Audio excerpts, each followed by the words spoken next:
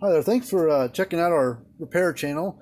Um, this isn't necessarily going to be how to fix or repair one of these uh, scales. Uh, these are sometimes these scales and load bars on these livestock systems are um, uh, tedious to say the least, and kind of a pain in the neck uh, to get into and fix them and stuff. So they, and they take a, a bit more time than electric fence boxes do. So most times I don't really make videos on on how to fix one of these scale things. Uh, I usually just do a video of one after we've fixed it, and then uh, that way we can make a video and talk to you about it and show you what how one works and stuff the best that we can. And then if you got one of these scales, and then hey, this guy works on them, you know, you can send them to a place like me, and we'll work on them for you. Um, but if you want to check out our our website, we've got two websites. Uh, the first one is cattlescalerepair.com. There's all my information there uh, where you can send things to. But I'll put a link down in the description. We also work in electric fence equipment. There's our website right there. Uh, stupid thing, focus. It's uh, fencerfixer.com, but there there will be a uh, description thing uh, down at the bottom there. But we work on a lot of cattle scales and uh, uh, livestock load bars and stuff for weighing cattle and other animals and stuff. And most scales of any kind really are about the same how they operate and how they work. So any big scale or small scale, as long as you know how a scale works and how to troubleshoot one, they're almost all the same. Whether you're trying to weigh a semi truck or a group scale weighs like you know a dozen cattle at a time, um, or a, you know a live a squeeze chute load bar or an alleyway platform type load bar um, they're all the same and how you work on them and stuff. There's just different ones are uh, wired differently or um, mounted differently under the system. But anyways, this is a um, this model here is a it's made by a company called Reliable Scale Corporation. They're made in Canada. Um, they this is about a 20 year old scale. They don't make this particular model anymore. They make a model 500G, 500S, or I don't know, 500 something. It's a, it's a, lot newer. This has got an LCD. The other one's an LCD, but it's uh, got like a backlight where it's kind of green and lights up where you can see it real good. But uh, it's made here in North America, which is kind of nice. Um, pretty neat scale, pretty durable um, uh, scale. It's about 20 year old scale, and this the guy that owns this says this was the first time it ever quit on him. Uh, it's been actually been broke for probably six months, sometime back in the summer, and uh, just never got around to getting it fixed. And then now he's needing it, and then so he sent it us about a week or two ago. Sent this to us to work on. So, but we went through it, got it going again and stuff. Um, uh, so if you've got a needs we worked on, uh, we're happy to work on it for you. So we'll power it up real quick and, and show it to you. I guess it does have a green backlight. I thought was uh, turn my light on real quick. Maybe. Oh.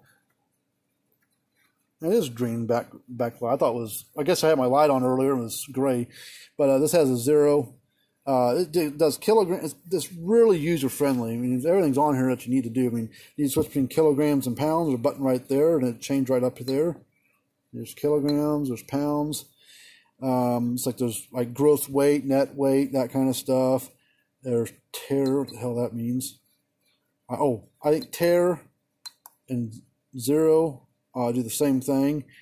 Uh, the one reason why I talked to manufacturer about this, I said this thing acting right because it's even without because I don't any load bars hooked up to it. Load bars hook up uh, down here, and this also can hook up to a computer, old style, you know, like the nine pin and stuff, uh, serial port, serial cables. But um, to download data and stuff.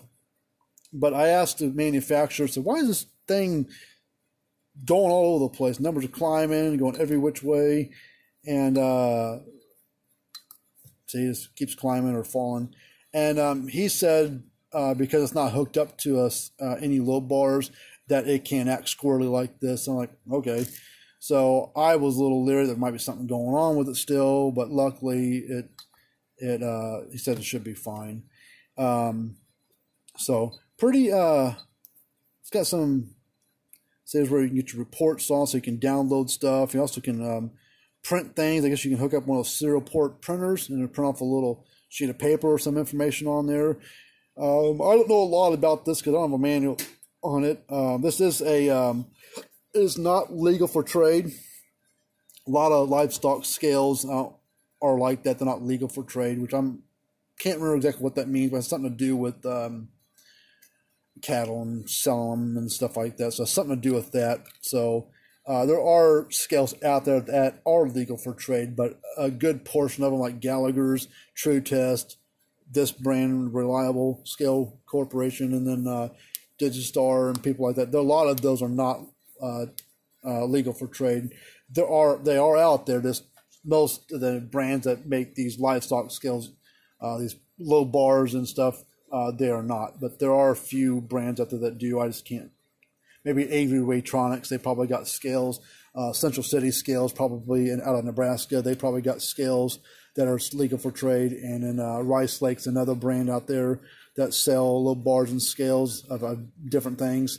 And I'm sure they've got a they're pretty big outfits. I'm sure they've got scales that are uh, legal for trade, but unfortunately this one's not. But for the everyday producer and uh, everyday user of stuff, that's not nothing you really worry about. So, but um, yeah, if you've got a you know a weigh scale needs to be worked on, we these are the brands we do work on. But uh, you know, we work on other brands. There's, this is a brand I've even heard of before, but uh, luckily we, we fixed it and got the thing going for the guy. So we can work on other brands. It's just this one I've never heard of. So um, turn it back on real quick. Uh, this is just a brand I never heard of, but luckily we still fixed it for the guy. So, but if you got a scale need to be worked on, uh, give us a call, and all the information is on the website. I will put links down in the description down below. But um, hit the thumbs up button if you like the video, and uh, subscribe to our channel. We appreciate it. Any of that you know stuff helps us out. And uh, if you've got a scale that needs to be worked on, or electric fence box of any kind that needs to be worked on, don't throw it away. Just box it up, send it here. We'll be happy to take a peek at it for you. We're free quotes and and a year and a half warranties on everything that we work on. So uh, we stand behind everything that we do. Uh, we're just an independent mom and pop shop. But until we do another video of how one works and or how to fix one, uh, we will see you guys later on.